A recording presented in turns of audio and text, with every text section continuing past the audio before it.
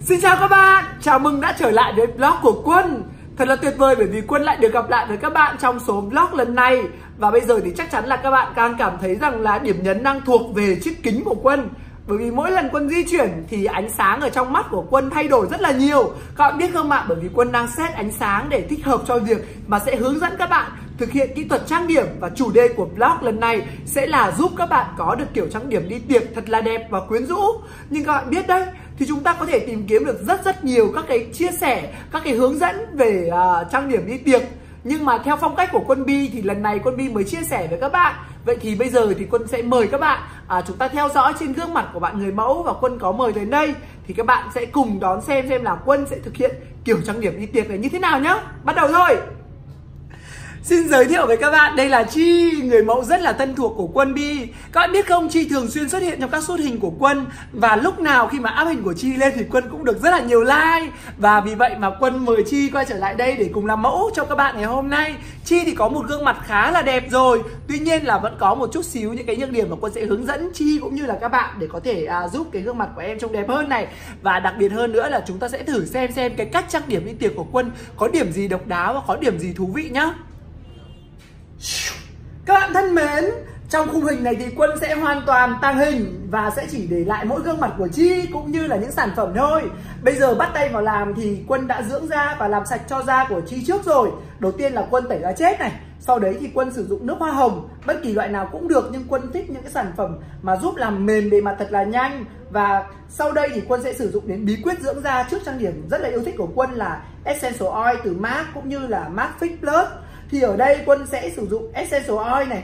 Thoa đều lên trên da mặt và sau đấy thì kết thúc nó với xịt fix và bây giờ thì quân sẽ làm từng bước để các bạn có thể theo dõi nhé đây rồi, chúng ta sẽ cho vài giọt essential oil lên trên tay. Sau đấy thì khi mà chúng ta đã lấy được essential oil lên trên tay rồi thì có hai cách. Một là các bạn có thể chấm vào 5 điểm trên gương mặt. Nhưng như thế thì quân cảm thấy rằng không được đều và vì vậy mà quân thường sử dụng cách thứ hai. Đó là quân sẽ xoa essential oil trên cả hai cái bàn tay giống như thế này. Sau đấy thì quân sẽ bắt đầu massage cho bạn ý. Và bây giờ các bạn nhìn theo thao thao tác của quân nhé đầu tiên là như thế này ạ. Xoa nóng đã này. Sau đấy thì các bạn vuốt xuống. Miết sang hai bên mặt. Đúng không ạ? Bởi vì quân đã tiết kiệm thời gian nên làm tóc trước. Nên vì vậy mà thao tác ở trán có thể sẽ phải cẩn thận hơn một chút xíu. Đấy là quân sẽ thoa ngang cho phần trán và dùng cái tay của quân ấy áp thật là chẹp lên trên cái gương mặt. Đó nhưng mà hơi nâng lên một chút xíu. Đó bạn thấy không ạ? Lúc này thì da mặt của chi trông nó bóng mọng hơn rồi. Essential oil thì rất là tuyệt vời. Ngoài việc khóa lại các cái dưỡng chất ở trên da có thì nó cũng cung cấp thêm một lượng đủ cái độ ẩm. Ờ, có rất là nhiều người lười là chúng ta không không dưỡng da hoặc là bỏ qua bước dưỡng da vì sợ rằng nếu mà dưỡng da quá nhiều thì nó lại bị dầu hoặc đổ dầu. Thực ra các bạn biết không, nếu các bạn không dưỡng da thì mới khiến làn da của các bạn bị đổ dầu đấy. Bởi vì khi da không có đủ dưỡng chất cũng như là độ ẩm thì nó sẽ phải tự tiết dầu ra để làm ẩm bề mặt và nó giúp chống thoát hơi nước ở trên da. Vì vậy mà các bạn nhớ nhé chúng ta sẽ phải dưỡng da thật là cẩn thận trước trang điểm. Và đặc biệt nữa của cái sản phẩm này mà quân thích đấy là nó sẽ làm mềm rất là nhanh, rất rất là nhanh. Bề mặt da sẽ rất là mịn màng và không có những cái cảm giác như là lợn cợn hay là da chết bị nổi lên trên mặt nữa. Ok. Công đoạn yêu thích của quân, sau khi mà sử dụng xong essential oil, quân sẽ sử dụng đến macfix. thì ở đây cái sản phẩm macfix này, nó vừa giống như là các loại xịt khoáng, nhưng mà nó sẽ giúp cố định lại cái lớp trang điểm. Nhưng mà quân thường thì sử dụng cho cái bước dưỡng da, bởi vì là nó cũng làm ẩm rất là tốt và khi mà cái lớp xịt fix này khô đi như các bạn thấy ở đây này thì nó sẽ tạo thành một cái phần màng phân tử nước ở phía trên rất là mọng rất là đẹp. Và khi các bạn sử dụng kem lót kem nền lên trên ý, thì nó rất là mềm mượt và trông làn da rất là mọng. Và nó sẽ bảo toàn nguyên si cái essential oil mà chúng ta đã bỏ lên trước đó và đây đây cũng là một sản phẩm rất là yêu thích của Quân. Thông thường thì các bạn biết không, Chúng ta hay sử dụng kem lót là những cái loại sản phẩm kem lót thông thường. Còn ví dụ như Quân ấy thì Quân sẽ sử dụng MAC Short Cream. Các bạn biết đây đây là một sản phẩm best seller rất rất là lâu của MAC rồi. Và tại sao Quân lại sử dụng nó thì bây giờ các bạn sẽ được nhìn thấy kết quả của nó. Đây, Quân sử dụng là MAC Short Cream, nhưng nó có một pitch màu hơi đào một chút, Bởi vì nó sẽ giúp cân bằng lại sắc tố trên da. Và ở MAC Short Cream ấy thì có một bí quyết cực kỳ đặc biệt, Đó là nó chứa những cái hạt nhũ rất rất là nhỏ và vì vậy mà gương mặt trông sẽ rất là dễ để bắt sáng. Nhưng mà nó không bị quá bóng nhờn. Bây giờ quân sẽ thử thực hiện và các bạn cùng thử theo dõi nhé. Đây, quân sẽ bóp nó lên trên tay như thế này. Wow. Các bạn nhìn thấy màu trắng không ạ? Chúng ta sẽ thấy màu trắng, nhưng khi mà quân miết nó ra tay như thế này này, thì các bạn sẽ thấy được là nó hơi có độ ánh, đúng không ạ? Nó rất là đẹp. Và các bạn có thể sử dụng nó với tay không? Tức là những cái ngón tay này chúng ta massage giống như thoa dưỡng lúc nãy hoặc là các bạn có thể sử dụng cọ. Thường thì với các chuyên gia trang điểm như bọn quân ấy thì để đảm bảo vấn đề vệ sinh này rồi là độ dàn đều này thì quân sẽ hay sử dụng cọ. Tuy nhiên thực tế ra nếu mà dùng được bằng tay ý, thì sẽ rất là tốt bởi vì nhiệt của ngón tay sẽ giúp cho cái sản phẩm thẩm thấu rất là nhanh vào da và cố định nằm rất là nhanh ở trên da.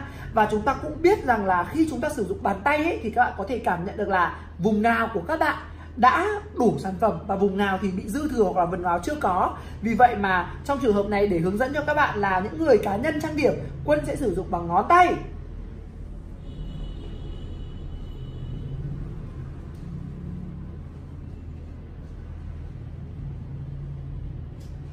Quân đứng hơi bị khó một chút xíu bởi vì là quân phải thao tác dưới dạng nghiêng như thế này để các bạn có thể nhìn thấy.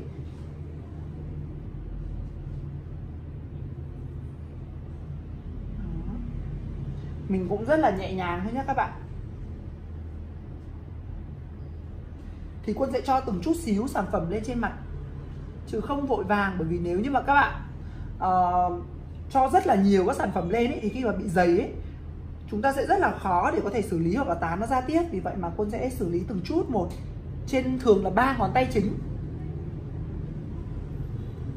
Ở những vùng mà không có cơ nâng đỡ như là vùng dưới mắt này này thì chắc chắn là các bạn sẽ phải sử dụng là ngón áp út. Nhìn lên trần nhà các bạn nhé. Đó, thì con sẽ thoa nó vào cái ngón áp út. Quân đang phải dùng tay trái đấy, mặc dù là tay phải cũng là tay thuận của quân. Đó. Các bạn có thể vỗ một cách từ từ.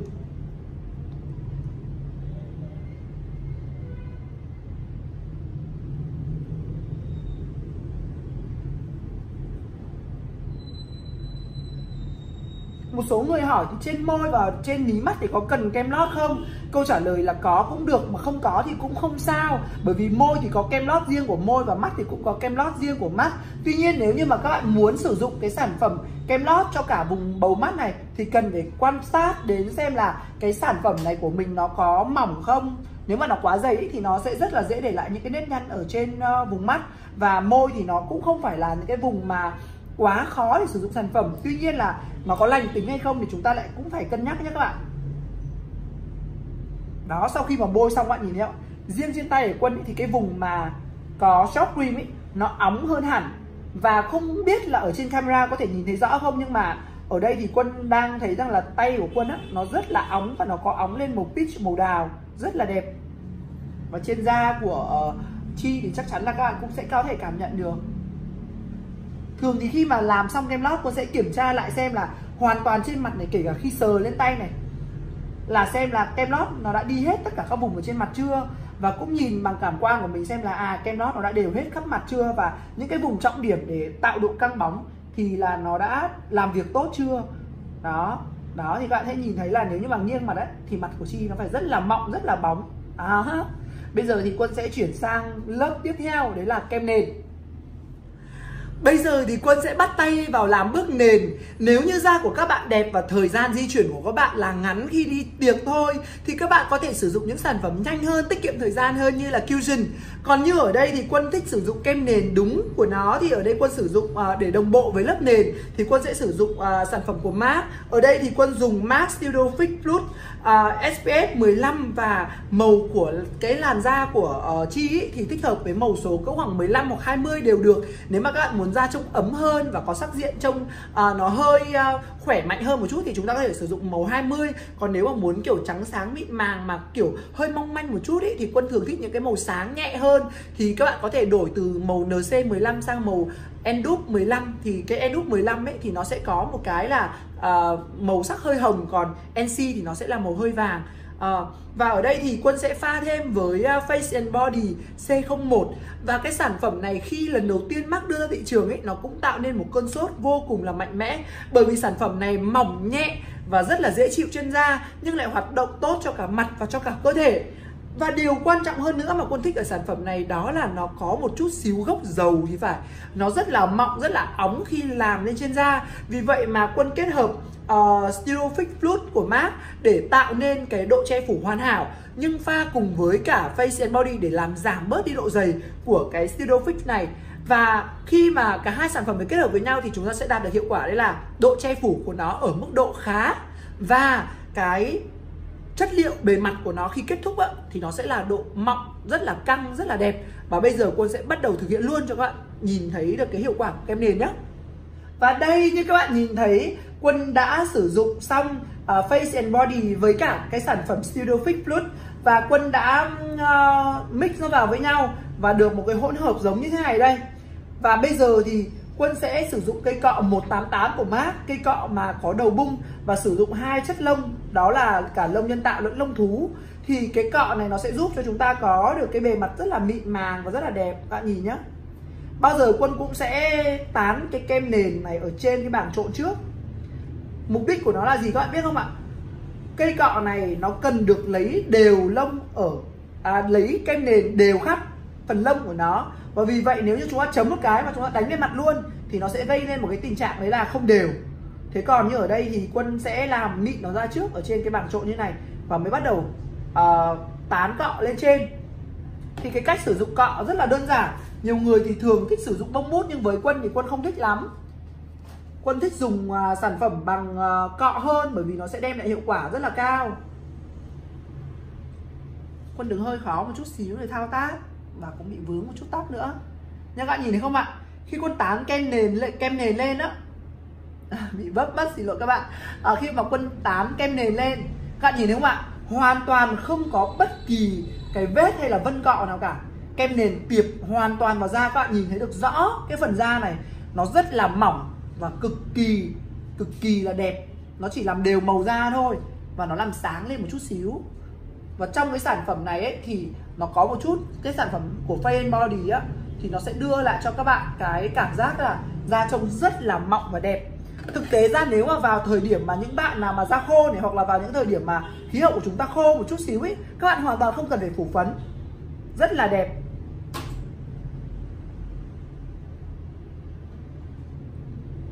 Đó, quân tán cọ rất là nhanh và rất là dễ dàng các bạn. Các bạn có thể lướt nó qua cả trên mắt nữa. Đó hoàn toàn là tự nhiên và không để lại bất kỳ một cái dấu vết của uh, vân cọ hay là nó cũng không để lại bất kỳ một cái uh, gọi là vết dấu tích nào mà các bạn cho cái nền lên cả. Nó hoàn toàn vẫn giống y chang như là cái uh, làn da thật của các bạn á. Một lát nữa khi mà uh, phủ đều xong khắp mặt thì quân sẽ uh, cho các bạn nhìn thật kỹ thật kỹ vào da. Với kem nền thì quân cũng phủ đều lên cả môi nhé đó cô sẽ phủ đều lên cả môi nữa. Bởi vì ở trên cái gương mặt của các bạn ấy có một số vùng mà mình nên bỏ nền lên ví dụ như là môi. Bởi vì tại sao? Thì nữa khi mà chúng ta đánh son lên thì son nó sẽ lên đúng màu hơn và bản thân nó cũng sẽ giữ được màu lâu hơn lên màu cũng chuẩn hơn nữa.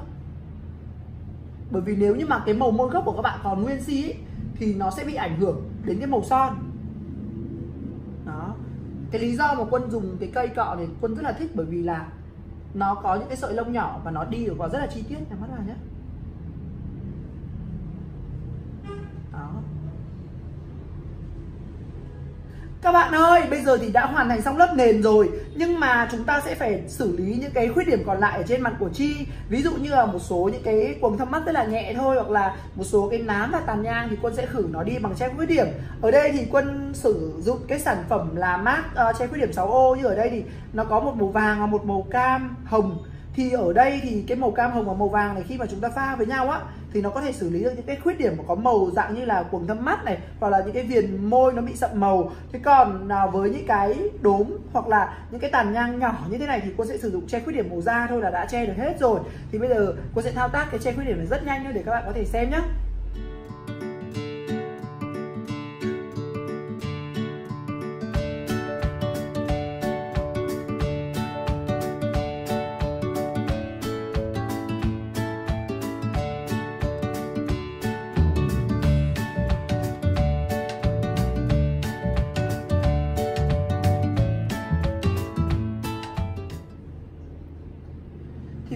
bổ sung cái kem che khuyết điểm vào một số vùng như là quầng thâm mắt rồi này.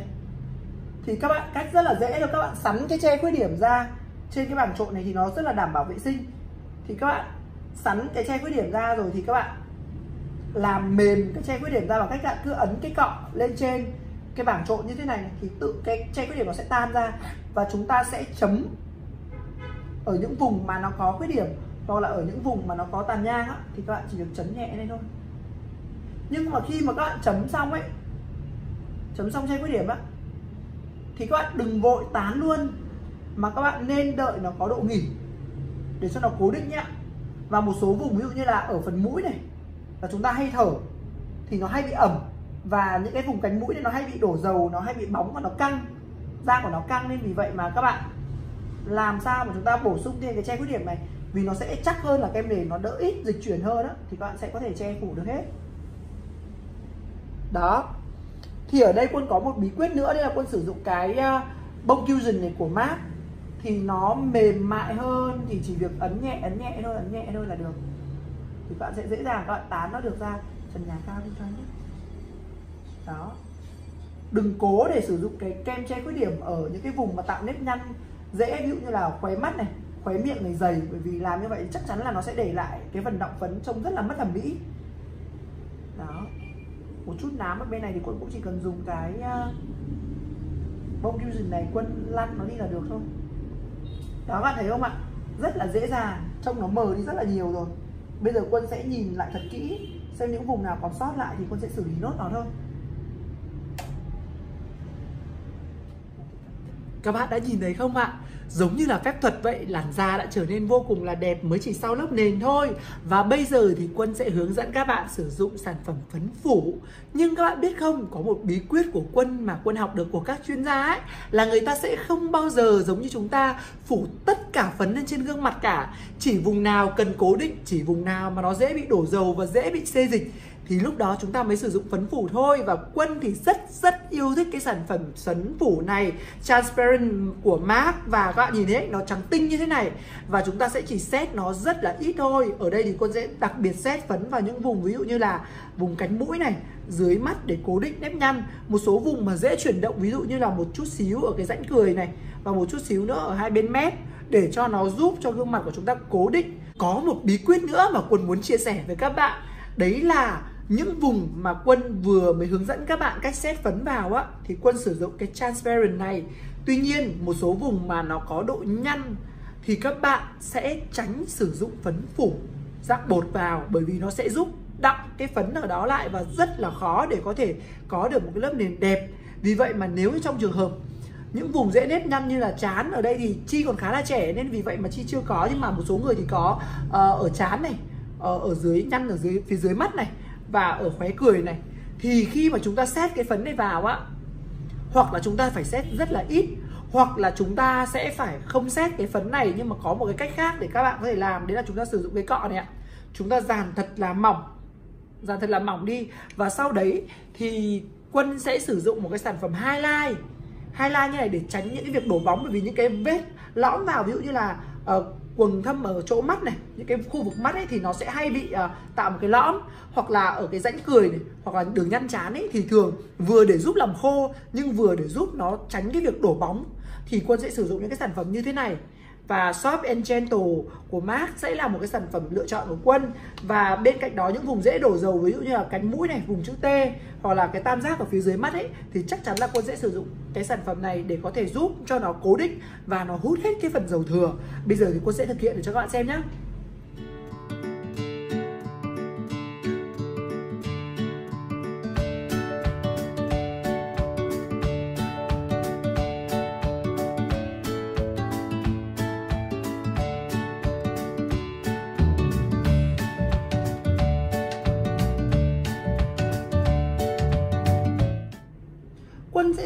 luôn cái sản phẩm highlight.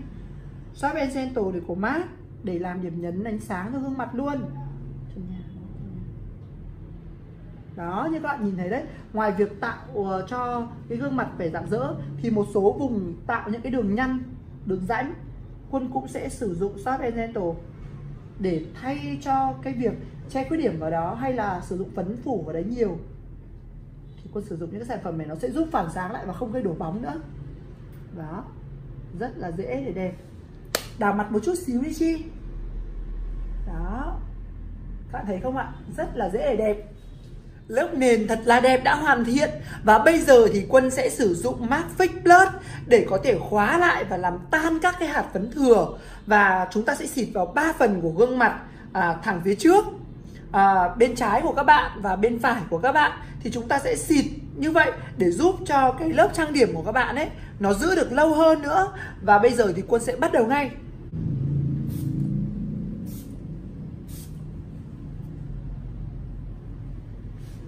Giờ thì Quân sẽ tạo khối cho gương mặt các bạn biết không? Với cái cây cọ à, 168 này và cây cọ 242 của Mát Thì cây cọ nhỏ này Quân sẽ tạo khối cho sống mũi, Còn cây cọ à, uh, vát chéo như này 168 này của Mát thì Quân sẽ tạo khối những cái vùng ở bên cạnh của gương mặt. Và Quân sử dụng cái sản phẩm tạo khối thì nó không phải là chuyên hẳn để dùng cái tạo khối đâu ạ. Quân sẽ sử dụng cái phấn màu tối hơn so với màu da cỡ khoảng độ 3 đến 4 tông để tạo nên cái độ sắc nét cho gương mặt và chiều sâu cho gương mặt. Thì ở đây bắt đầu Quân sẽ sử dụng uh, cọ 168 và cái màu phấn này trước để làm uh, phần uh, hốc má này và làm nhỏ xương hàm cũng như là cắt bớt lại cằm cằm của chi rất là lý tưởng rồi, vì vậy mà cô sẽ tăng thêm độ sâu cũng như là cái độ nét của cằm ra thôi. Một số bạn thì có thói quen đấy là chúng ta sẽ blend tán luôn như thế này. Thực ra như thế thì sẽ không tốt một chút nào cả, nó sẽ ảnh hưởng rất là nhiều đến lớp nền của các bạn. Vì vậy ở với quân ấy thì quân sẽ phủi bớt đi cái phần phấn này. Sau đấy thì quân sẽ dậm nhẹ.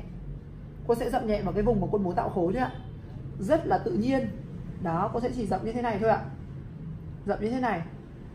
Khi mà các bạn blend á hoặc là các bạn tán á thì nó sẽ dễ để lại cái việc đấy là thứ nhất là chỗ đậm chỗ nhạt này loang lổ không đều này hoặc là các bạn blend nó quá nhiều để cho nó mịn ra á, thì nó lại gây ra một trạng tình trạng đấy là cái lớp nền của các bạn ấy nó bị xê dịch hoặc là nó không được đẹp nữa do là cái lông này nó cứ cầy đi cầy lại cái lớp nền vì vậy mà nó không được đẹp nữa.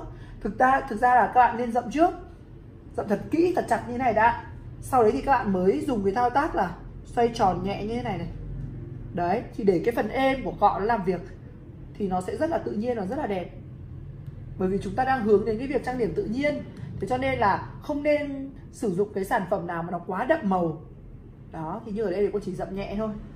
Rất là ít khi con tác động lực như kiểu là blend, bởi vì các bạn biết không? Lúc ấy con có che cái nám ở đây. Đó, khi mà con che cái nám ở đây thì cái che khuyết điểm nó vẫn nằm ở trên đó. Nếu mà các bạn cứ blend đi, blend lại á, là cái che khuyết điểm nó sẽ bị mỏng đi, cả cái lớp nền cũng vậy. Nó sẽ hiện lại khuyết điểm vì vậy mà cô sẽ chỉ vỗ như thế này thôi. Đó vỗ như thế này là ăn chắc nhất. Nó sẽ chắc hơn nữa cái lớp nền. Và nó cũng bám được màu lên khá là đều. Mịn chỉ chú ý một điều là phải mất công hơn là lấy từng chút từng chút màu lên một thôi. Đó rất là dễ đẹp đó thì ở đây quân thấy nó tối hơn một chút rồi.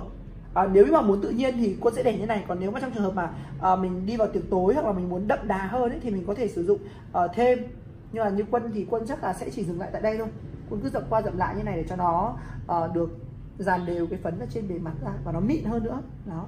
Và chỉ tác động bằng cái phần êm của cọ thôi chứ không ấn quá mạnh đến dùng đến cái gốc của cái sợi lông này là nó sẽ rất là dễ để cho cái gương mặt các bạn để lại vết.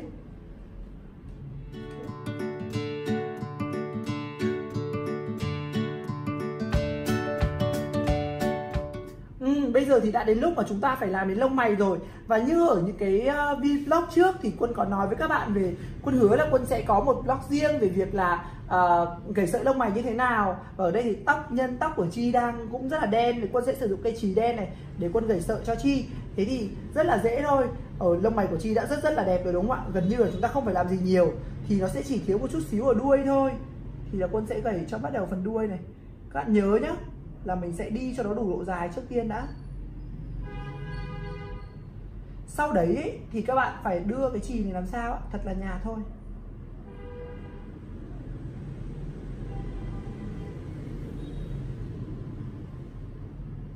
Đó. Hoàn toàn là xong rồi. Xong phần đuôi lông mày bị thiếu, thì quân sẽ dùng cái cọ mày này, tán đi tán lại này, để cho làm sao ạ? Nó thật là mượt và êm màu nó không bị quá sắc nữa. Đó.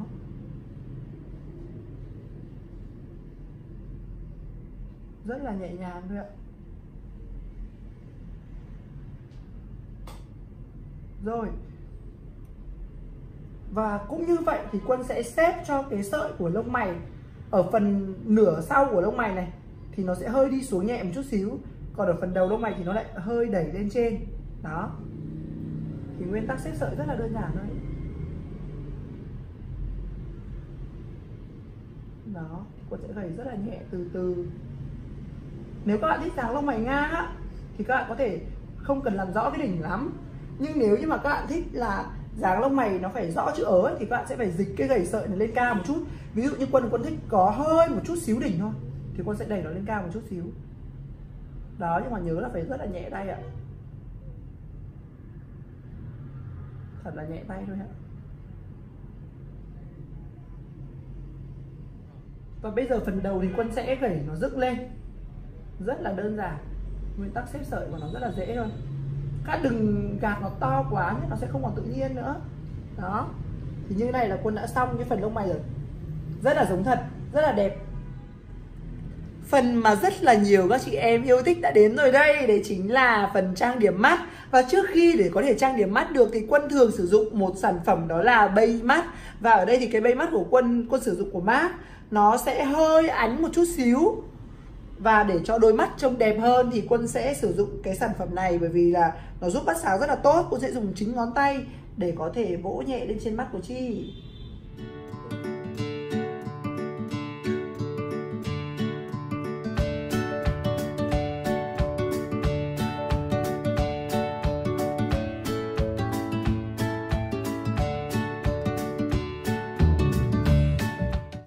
Sử dụng màu hồng có nhũ nhẹ ở đây đây ạ. Thường con sẽ thích đánh màu mắt bằng ngón tay bởi vì là nó lên màu rất là mạnh.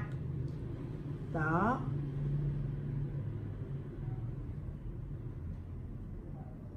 Con sẽ làm cái màu đầu tiên của mắt. Bằng một chút xíu màu hồng be nhẹ.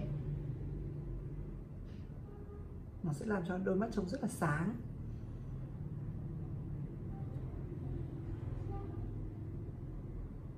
Bây giờ Quân sẽ sử dụng màu hồng đậm hơn và pha với một chút xíu nữa cái phần màu nâu đỏ này ở đây. Đó, và Quân sẽ nhấn nó vào phần sát ở đuôi mắt bằng cái cọ đầu bung như thế này đi ạ. Là mình sẽ lấy trước như thế này nhé. Rồi pha với một chút xíu màu nâu đỏ này. Quân sẽ pha sẵn trước và đẩy cái màu bột này lên trên một góc của cái ô màu mắt này. Để tí nữa đỡ mất công quân sẽ phải pha lại á. Và bây giờ này, rất là dễ các bạn đặt cái cọ này vào góc của đôi mắt và các bạn xoay tròn.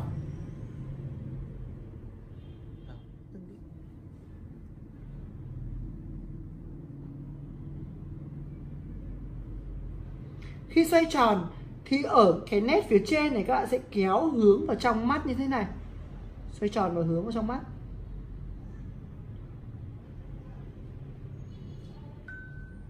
Từ cái góc cuối của đôi mắt, các bạn kẻ chéo lên một chút xíu vì quân vẫn muốn cho đôi mắt trông sexy và có chút sắc sảo hơn. Vì vậy mà quân muốn cái đường màu này nằm hơi chéo lên một chút xíu. Các bạn dùng vẫn đúng những cái màu nhấn lúc nãy. Và tán nhẹ lên trên một chút xíu thôi Đó làm tương tự với mắt còn lại. Con muốn rằng cái đuôi này nó có cái phần màu hất xéo lên trên một chút xíu. Ở ngay phần đầu mắt đây ạ. Phần góc mắt, ở đầu mắt này, và phần góc mắt ở phía dưới đuôi mắt, và ở vùng cong tròn ở phía trên của bộ mắt. Cô sẽ sử dụng thêm à, sắc vàng để giúp cho cái đôi mắt của chúng ta trở nên sống động hơn và có nhiều màu sắc hơn một chút xíu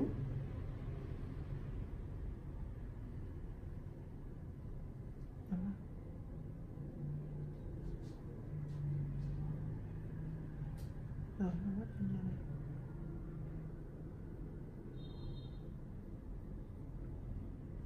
Bây giờ cô sẽ nhanh chóng sử dụng cây bút dạ kẻ mắt này của Mark và cô sẽ kẻ một cái đường thật là mảnh thôi ạ.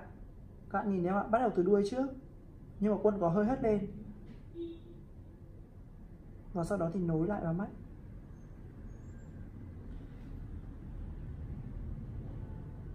và quân sẽ chỉ thực hiện đường kẻ này ở phần đuôi mắt thôi ạ rồi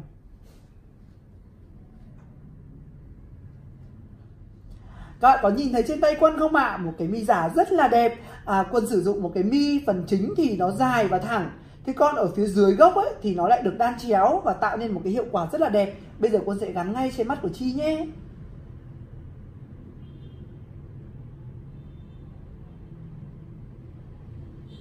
Các bạn khi mà gắn mi á, thì chúng ta cố gắng kéo căng cái da mắt ra một chút ạ.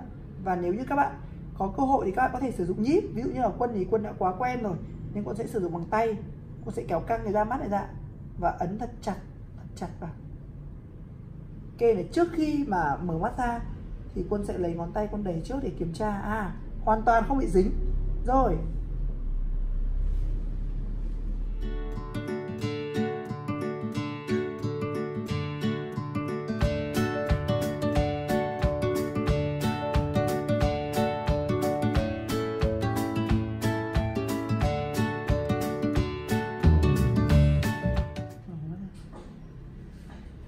Các bạn ơi, Quân đã gắn mi này, chuốt mi và kẹp mi xong rồi. Bây giờ các bạn thấy đấy, đôi mắt trông rất rất là khác biệt đúng không ạ?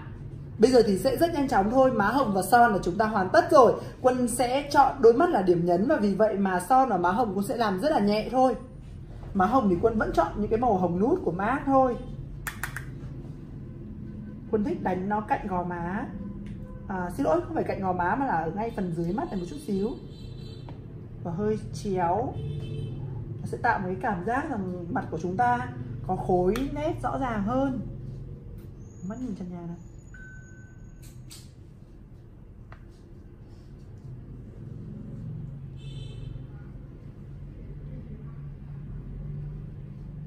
Rất là đẹp.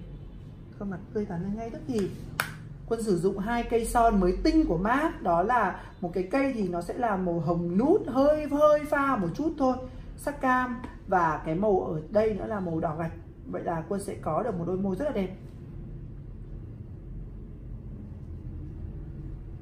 Đó. Chúng ta cứ lên từng lớp từng lớp son một nhẹ nhàng thôi và uyển chuyển.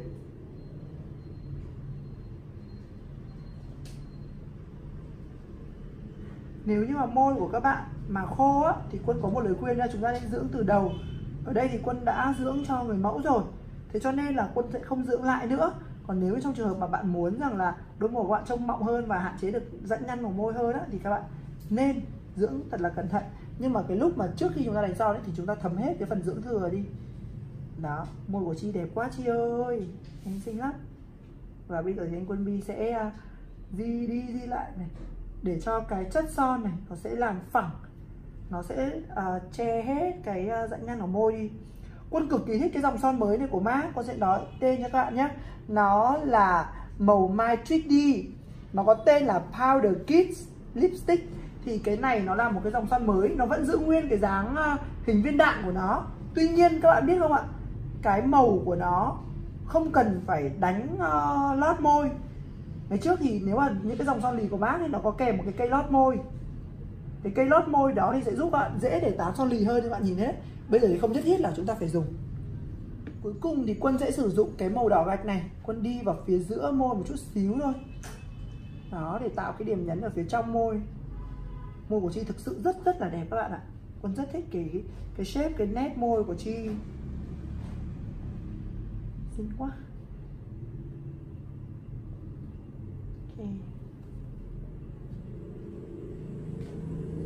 Nhớ là chúng ta lên màu từng chút một thôi nhé nào thần thái nào. Hmm, cực kỳ là đẹp. Các bạn thân mến, vậy là hãy cùng xem thành quả của Quân nhé rất là đơn giản, cực kỳ là dễ dàng và ai cũng có thể làm được kiểu trang điểm này phù hợp với tất cả mọi người. Và dù bạn là người mới bắt đầu trang điểm hay đã trang điểm lâu rồi Thì Quân tin chắc chắn rằng là Quân đã đem đến cho các bạn một gợi ý mới trong kiểu trang điểm này. Hãy thoải mái biến tấu theo cách của bạn dựa trên những gợi ý của Quân Và Quân tin chắc chắn rằng là các bạn sẽ thành công. Hẹn gặp lại các bạn trong những vlog tiếp theo. Còn bây giờ thì nhớ ấn nút theo dõi và ủng hộ cho Quân nhé Rồi bây giờ thì hãy nói lời chào tạm biệt với Quân và chiêm ngưỡng chi. free.